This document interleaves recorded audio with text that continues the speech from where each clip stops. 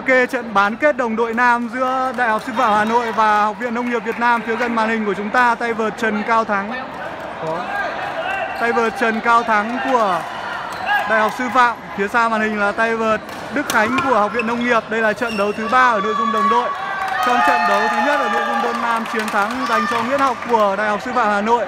Tuy nhiên trong trận đôi thì cặp đôi đến từ Học viện Nông nghiệp đã gỡ lại với chiến thắng trong vòng 3 set và đây là trận đấu thứ ba, trận đấu quyết định rằng đồng đội của trường nào sẽ vào chung kết. Đây là một trận đấu được đánh giá là ngang tài, ngang sức. Mọi người hãy cùng theo dõi nhà hùng qua bên kia live stream đây.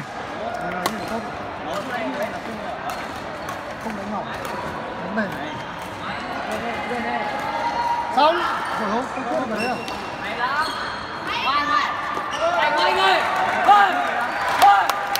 tốt khánh ơi khánh ơi tốt lắm. Cứ đánh thế, cứ thế.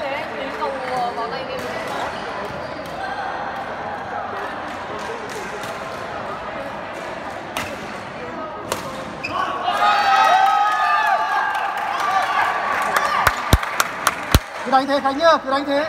Tốt lắm.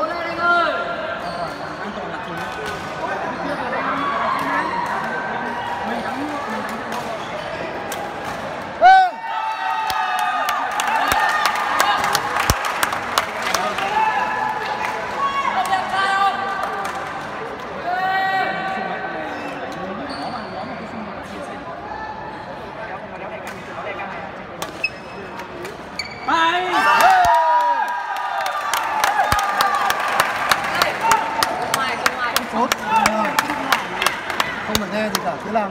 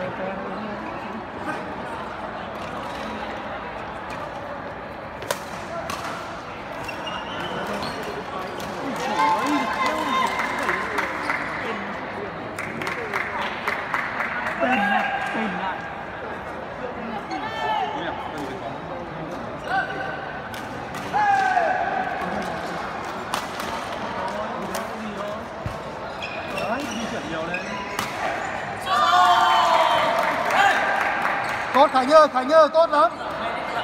Tốt lắm. Tăng độ chính xác lên thôi.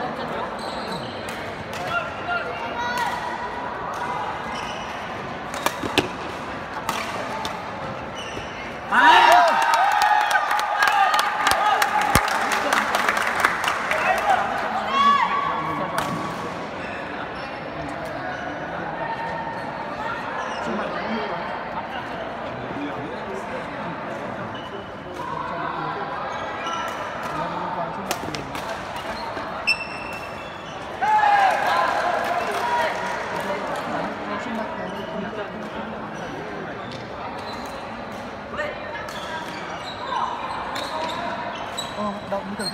một đều nữa Chứ lúc nãy bảo cửa trên mình vẫn có cửa mình ăn Cứ xem, cứ xem chắc là